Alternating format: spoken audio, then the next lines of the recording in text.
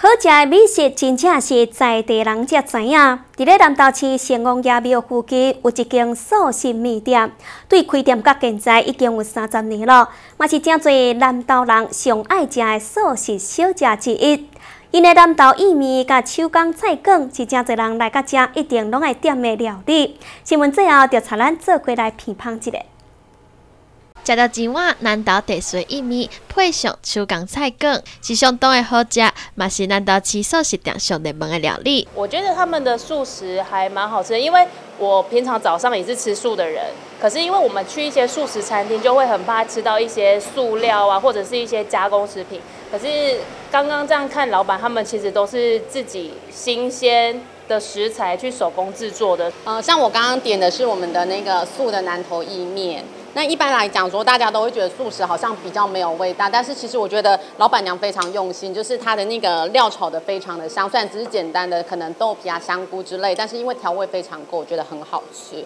呃，像我自己本身平常是吃荤的嘛，那如果你想要吃肉的话，老板他们这边也有素香肠，真的很好吃。而且真济在地人一食就是几啊十年，嘛是真济南岛人上爱食素食之一。开店的时候，我们就时常来这边吃了，锅边素啦。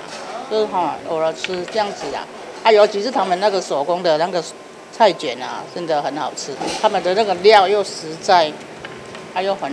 都很好吃。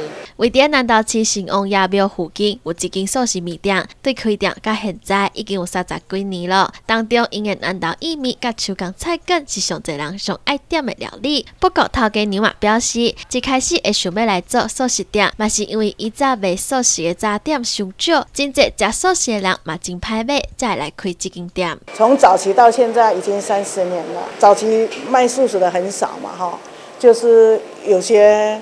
很多人都吃素啊，啊就比较很少地方可以吃，我才用心去耕耘我们素食家。然后我们南头的意面是很 Q，加上我们精致的那个素皂，把它淋在那个意面上面，吃起来口感很香，很 Q 这样。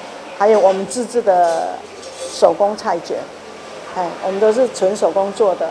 很好吃，而且生意是相当的好，常常需要家己的后生等来斗三工。随着头家甲头家娘年纪渐渐大，后生嘛死掉，多切工课等来接班。